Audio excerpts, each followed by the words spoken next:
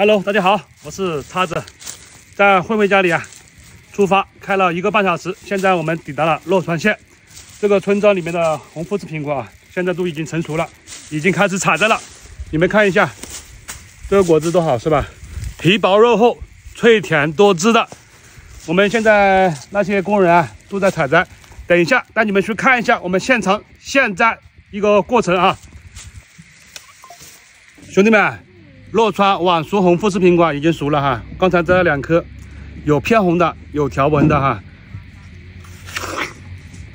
水甜，脆甜多汁，口感一样的哈。现在的甜度大概是八九分甜，一两分酸。我们现在前面在摘果子，带你们去看一下。这一筐就是条纹的哈，都是新鲜的啊，现摘的。还有的前面带你们去看一下。你好，阿姨。啊，这是个。啊，谢谢叔叔。啊，谢谢啊。现在摘了多少了？摘了有二百多筐。这一筐就是偏红的哈，偏红的，是吧？